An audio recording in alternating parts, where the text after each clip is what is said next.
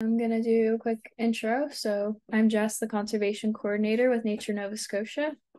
Um, this is our monthly nature talk. Usually it's on the first Tuesday of every month, but today it's on Monday because there's a deadline coming up tomorrow, which we're going to be talking about a little bit. Um, we are joined by Ecology Action Centre staff Will Balser, the Coastal Adaptation Coordinator at the Ecology Action Centre. And we're also joined by Mimi O'Handley, the Wetlands and Water Coordinator.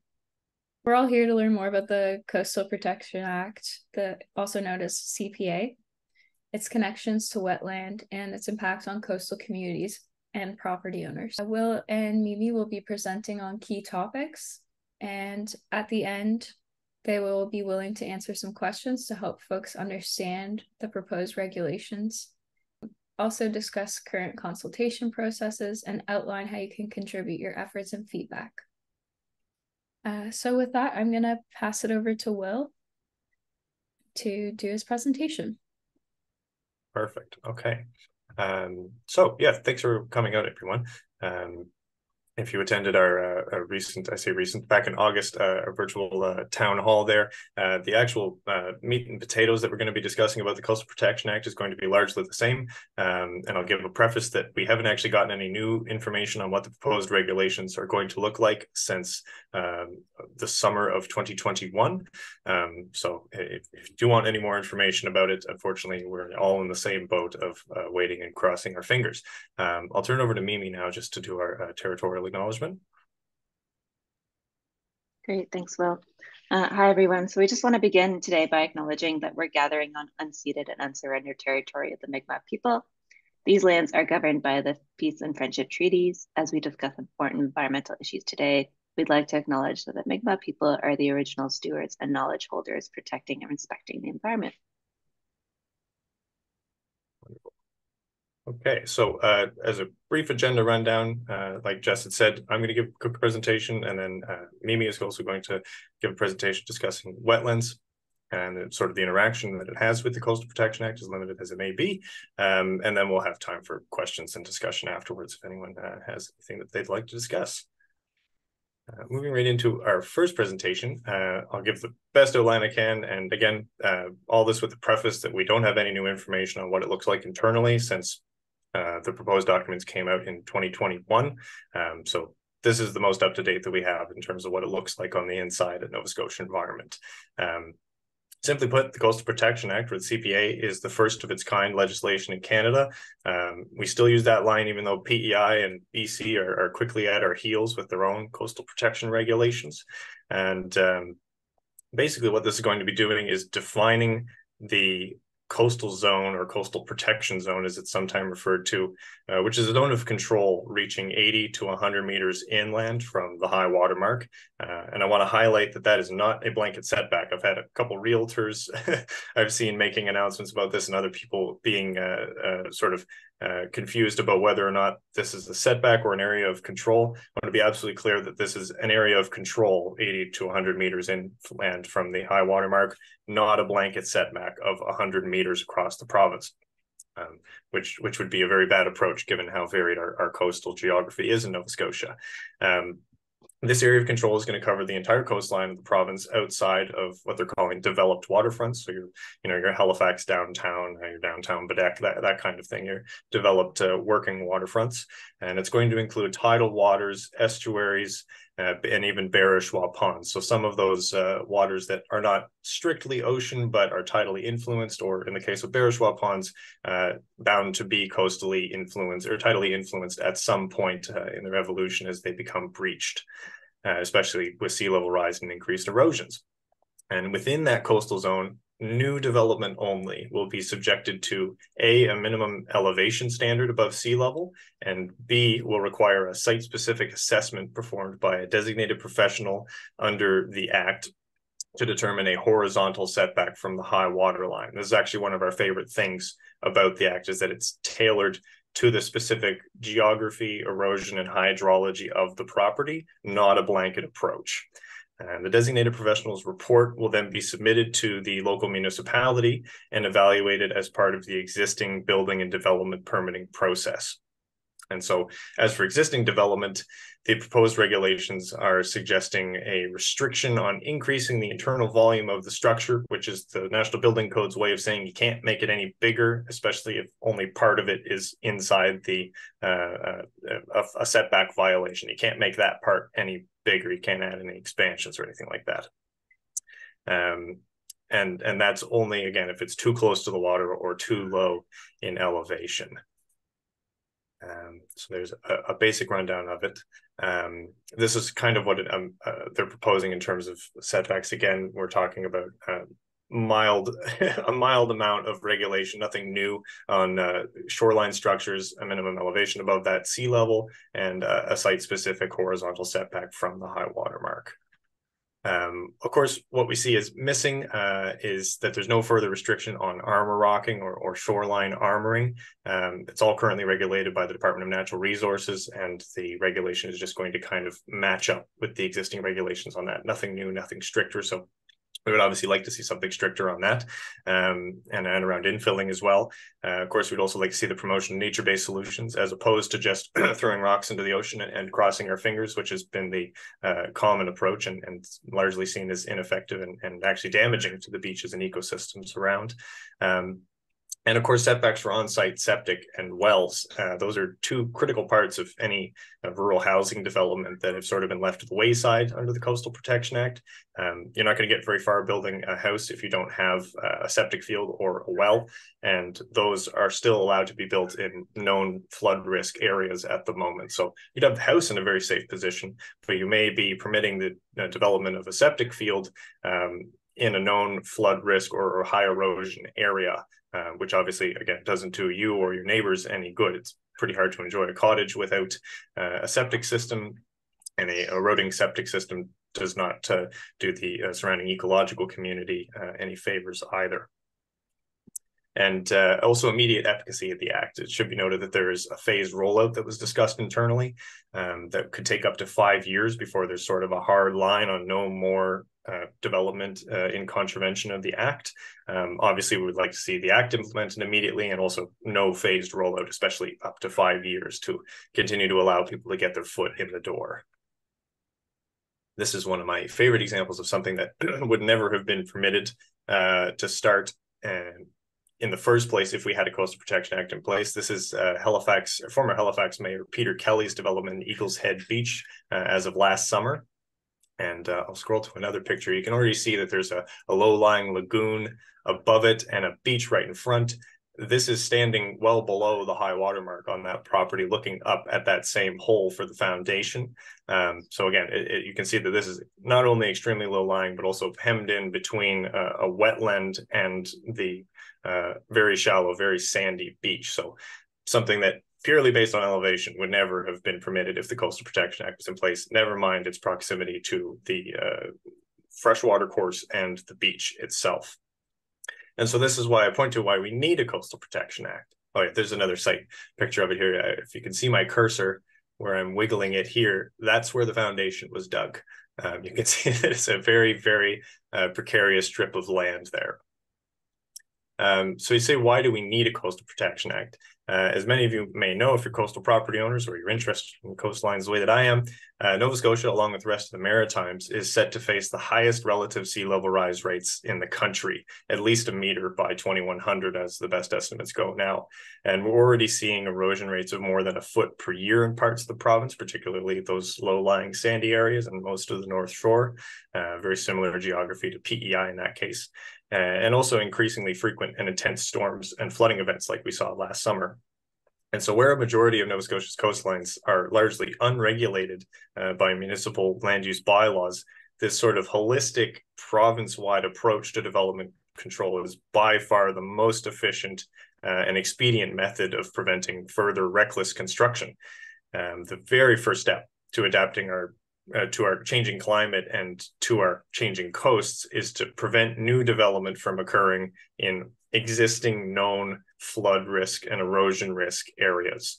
That doesn't deal with the uh, harder conversations that we're going to have about the you know 70% of nova scotians who already live in coastal communities that may or may not be at, at imminent risk uh, this is just you know the to to stop uh, the train before it gets any worse, so to say. And uh, yeah, this is all a, a, picture of the municipalities of Nova Scotia. All to say that cutting it up into 49 different pieces is probably the slowest way and, and least efficient uh, way to do this. And unfortunately, that's something that the premier has recently discussed as an option. Um, all to say that that has always been an option. Uh, municipalities have always been able to make uh, development regulations uh, in coastal areas or otherwise. It's always been a resourcing issue. Even the best resource planning departments in the province uh, have not been capable of producing uh, coastal regulations uh, to this caliber, never mind implementing and, and enforcing them. So. I'll move now to a uh, oh, this is a wonderful picture of PEI, as I was saying about the the uh, uh, similarity that we have on the North Shore and the geography of PEI. This is post Hurricane Fiona, where some sand dunes lost up to 30 feet of depth uh, in a single overnight uh, post tropical depression event. This was not even a hurricane by the time that it made landfall there. Just very bad luck with lining up with the high tides in that area. And again, we got very good luck with Hurricane Lee recently and with Fiona itself for missing a lot of the uh, other highly populated areas. So for a timeline of the development of the act and regulations, I've chosen some melting clocks to show how long this may have uh, this may seem to have taken. the Coastal Protection Act uh, legislation was passed with all party support in April of 2019 uh, and has since undergone significant consultation processes to develop the regulations. Uh, starting in 2018, multiple rounds of engagement and feedback sessions have consulted the public, municipalities, professional associations and any other identified stakeholders. And detailed reports on the proposed regulations were released back in 2021, with engagement results being published in the What We Heard report in 2022. So implementation of the regulations was promised in the 2022 climate plan that was released. And immediately following Hurricane Fiona, Nova Scotia Environment Climate Change Minister uh, Timothy Halman pledged to roll out the Coastal Protection Act uh, in what he quoted as early 2023. Uh, unfortunately, that was delayed in March indefinitely. And on August 1st of this year, uh, Minister Halman announced that the province would not commit to implementing the regulations before July 2025, which happens to be the next election. Uh, and he's citing a desire for more consultation and education for coastal property owners. We recently completed a Freedom of Information request on Nova Scotia Environment Internal Communications uh, back in April that would seem to indicate that right up until mid March of this year, there was every intention of rolling out the regulations before the end of that month. Um, there's no smoking gun, of course, pointing to uh, who or, or what might have caused this sudden, uh, I say, a sea change, but there's this uh, unilateral uh, change to an indefinite delay about halfway through March. As far as we're concerned, uh, the regulations were actually completed uh, internally in March and, and have just been uh, just been shelved. So, starting October 5th, uh, just about a month ago, the province launched an online uh, survey targeted at coastal property owners, but of course, welcomed everyone to fill it out. Their outreach uh, included targeted online ads and a postcard sent to every coastal property owner's address that was listed in the provincial property online database, um, which has been proven to be an issue as many of the addresses are outdated and some owners have never received that postcard or invitation, even on the same street. We've had neighbors uh, either get or not get the postcard. So there's a bit of an issue with rollout there and, and contacting uh, property owners.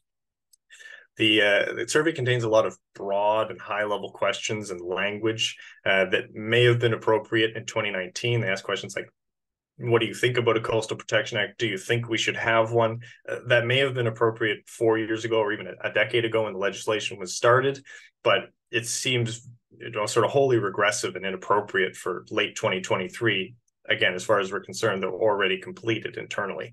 And not to mention, there's a number of misleading questions around the availability of flood insurance for homes and insurance for coastal erosion of property itself, of land, uh, which, as we've come to understand, is not actually uh, available. So while we do have significant issues with the survey rollout and questions, we do still believe very strongly in public consultation and encourage everyone, if possible, to fill out uh, the survey before it closes at the end of the day tomorrow, uh, November 7th. Um, I've got a link uh, that I'll post in the chat here um, that you can see our response to it, and uh, it'll also have a link to the survey. Um, further on the timeline, uh, Group ATN Consultants uh, or Consulting Incorporated were hired uh, to carry out the survey. And following the completion, uh, they'll prepare an internal report for the minister detailing the findings. That's scheduled for either December or January of 2024. Um, uh, sorry, December of 2023 or January 2024, uh, there have been no additional plans or reasons uh, for delay announced regarding the interim year and six months, which would bring us to the next provincial election uh, in in July 2025. So we're we're curious to see what comes of that report and and whether there's any additional actions or consultations or anything planned between now and, and July 2025. So since uh, the delays were announced in March 2023, we've been particularly outspoken in the media regarding our disappointment uh, in the delays, and we've been working very closely with municipal councils and coastal property owners uh, across the province, which we're still continuing uh, to do until the regulations are released.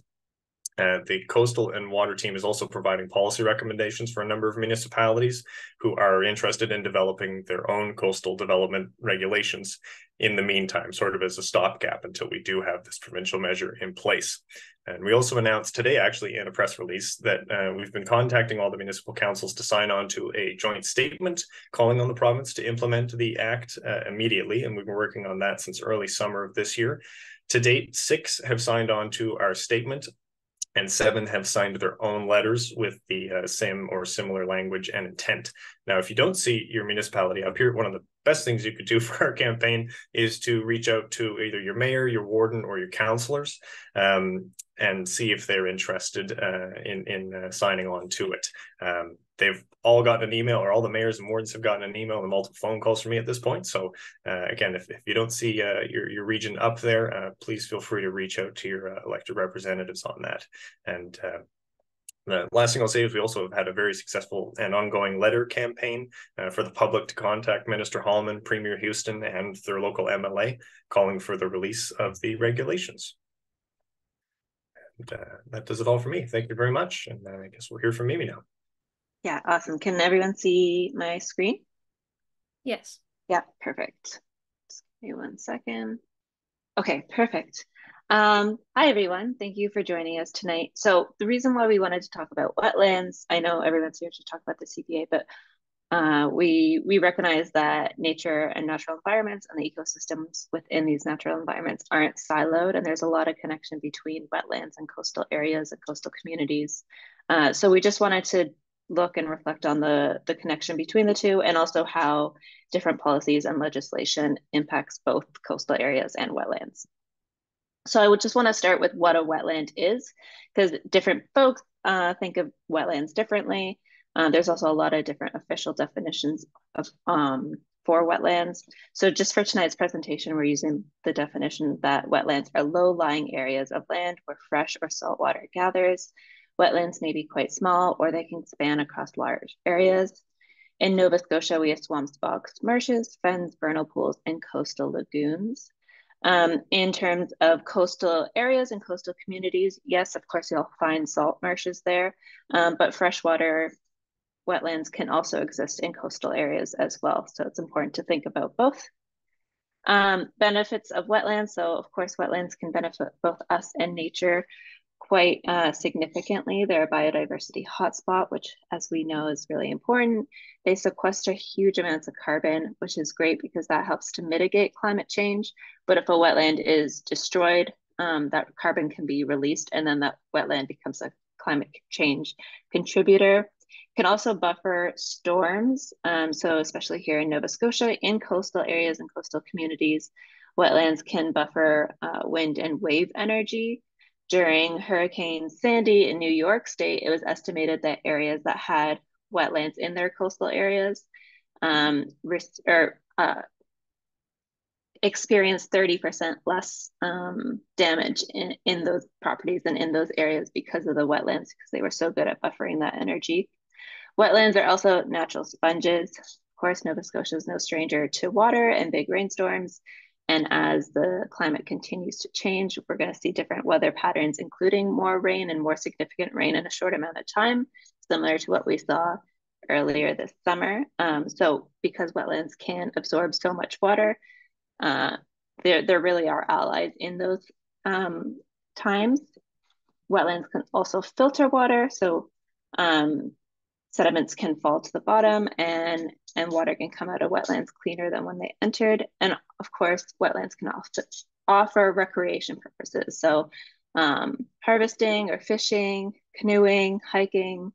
Um, yeah, there, there's a lot of, they're not always the prettiest to look at depending on the, the wetland you're, you're dealing with, but they do offer some recreational opportunities.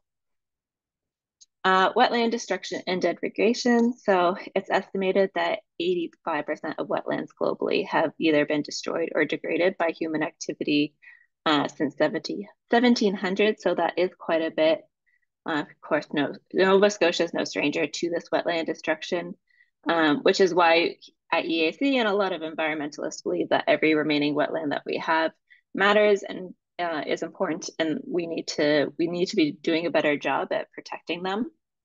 The top threats to wetlands include infilling for development, uh, conversion of land, excessive runoff, poor stormwater management, invasive non-native species, household runoff, roads, and climate change.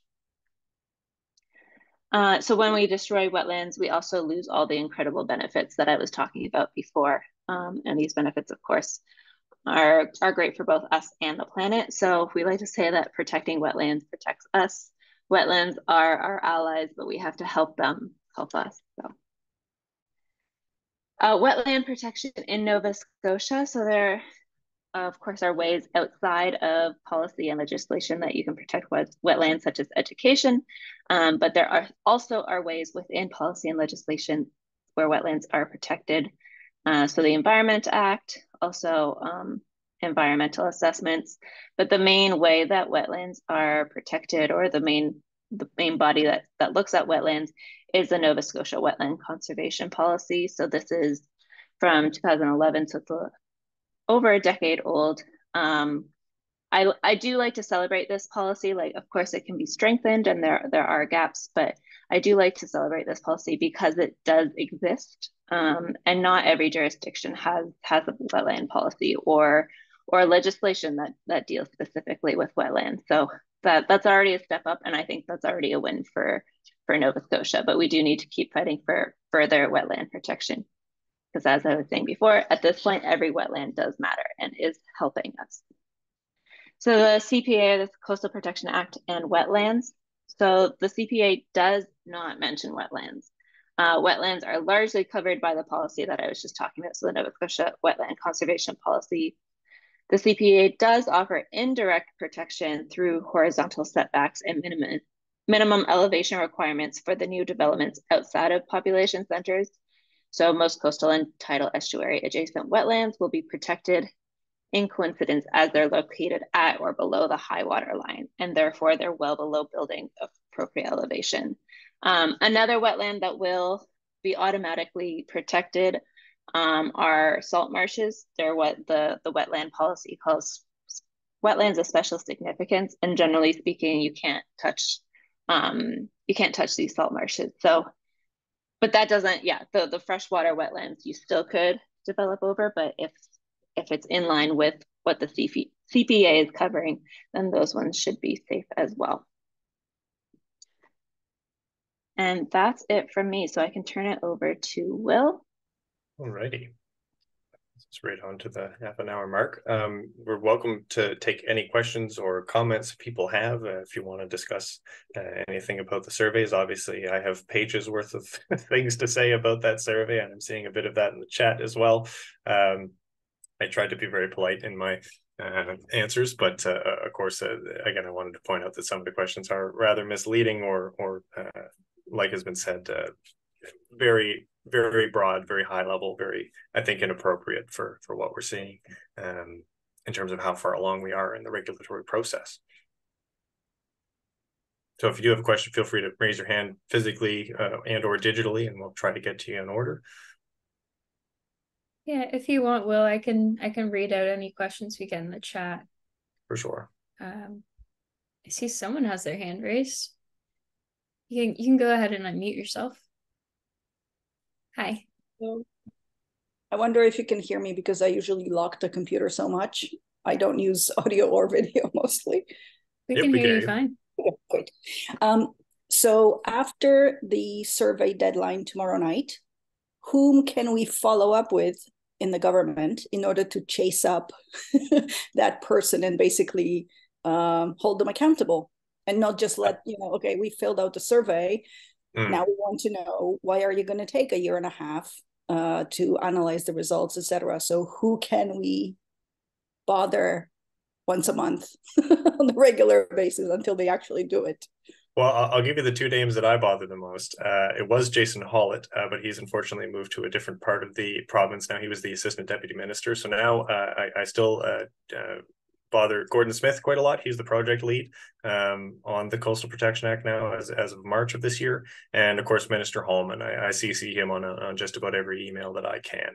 Um, there is a designated email set up for this consultation process, but I would I would defer directly to contacting uh, either the minister and or Gordon Smith himself. Could you put their names uh, in the chat?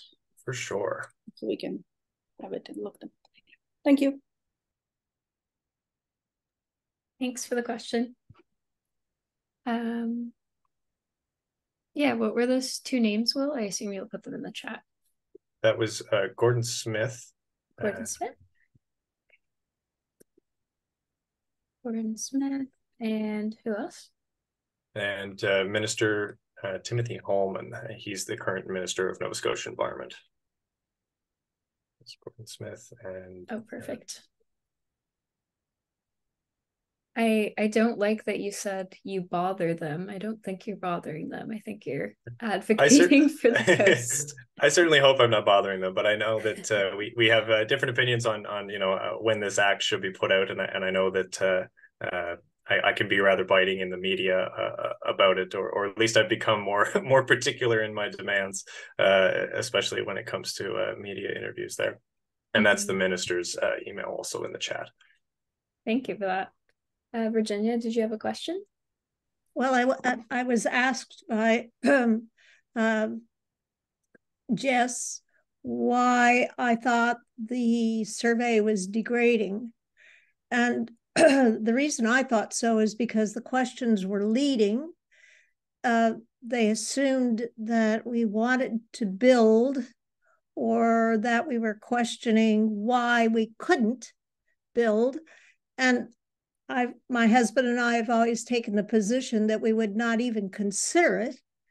And further to that, that if there was anything we could do in the nature of, well, let's say Rosemary Lonis, um, protecting the coastal water of with uh, different plants and what trees and whatever, that we would do so. So I took issue with the assumption that anybody that was going to be answering uh, the survey was intending to um, minimize the impact of the Coastal Restoration uh, Protection Act. That was my problem with the survey.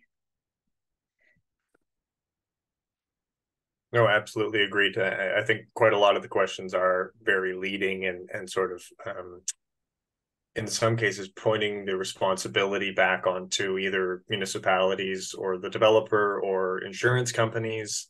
Um, again, it, it feels uh, very much like an abdication of responsibility that was previously not only accepted but accepted by all parties and promised on multiple occasions in multiple different uh, situations. So uh, again, yeah, very very very frustrating. Completely, completely see where you're coming from. Um, what was the consultation company that you uh, mentioned? They have a name. Uh, Group ATN, uh, ATN Consulting Incorporated, and the only other information we have on them is from uh, a CBC article, uh, which is stating that the cost of the I'll get the number. The cost of the um, consultation is not to exceed ninety nine thousand. What was it? Ninety nine thousand seven hundred and sixty eight dollars. Yeah, that's quite a lot of money. And and I yeah to, to speak more on the economic angle there, I mean there's three full time staff members dedicated uh, to the Coastal Protection Act. uh, at Nova Scotia Environment and two new hires as of August that are partially working on the file. So it's uh, three and two halves uh, st- provincial staff members plus a consultant group.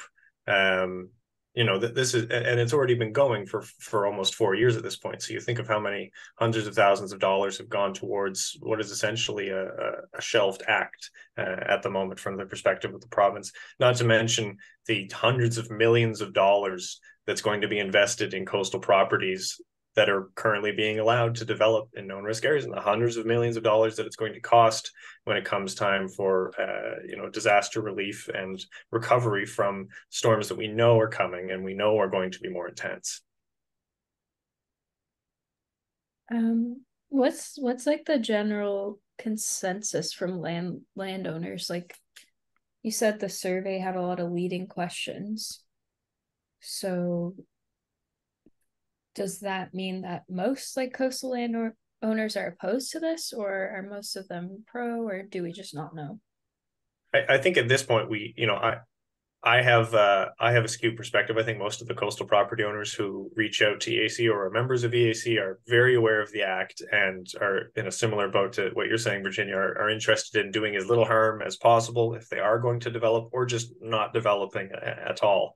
Um, I, I think the major opposition comes from large development groups who own swaths of our coastline uh, and want to you know get the most bang for their buck get the most properties subdivided and built uh, as they possibly can whether that means infilling uh, wetlands and or building right as uh, up to the shoreline and, and and putting in large concrete blocks like it, it just I, I i suspect that that's where a majority of the opposition is coming from and of course there's no emails to prove that. I, I think most of that has gone on over the phone or in person in, in, in regards to lobbying efforts.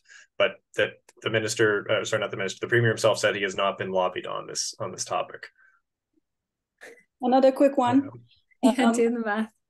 how many yeah i can i can crunch some numbers for them if they're having trouble for 18 months. Um how many people do you think okay, if every person that has a property already on the coastline answered this survey, how many people are we talking about here?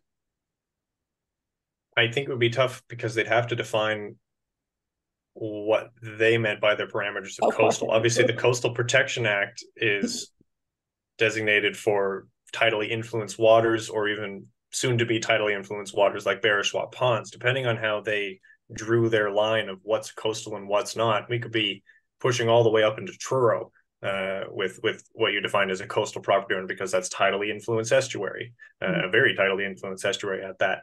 Um, so I, I, I really wouldn't stoop to get. I know that seventy percent or more of Nova Scotians live in coastal communities. Um, and again, the survey is technically for everyone, but obviously targeted at coastal property owners. Um, and it's an interesting bit of math there. I, I, haven't broken it down quite like that, but that's uh, that's a very good. that's a very good parameter. I, I'm not sure if the consultants are going to be on for the next year and six months, or whether they're just being hired to run this consultation survey process and spit out a report at some point in, in December or, or January. Okay. I'm just trying to figure out how many surveys do they actually expect to get back? Mm-hmm.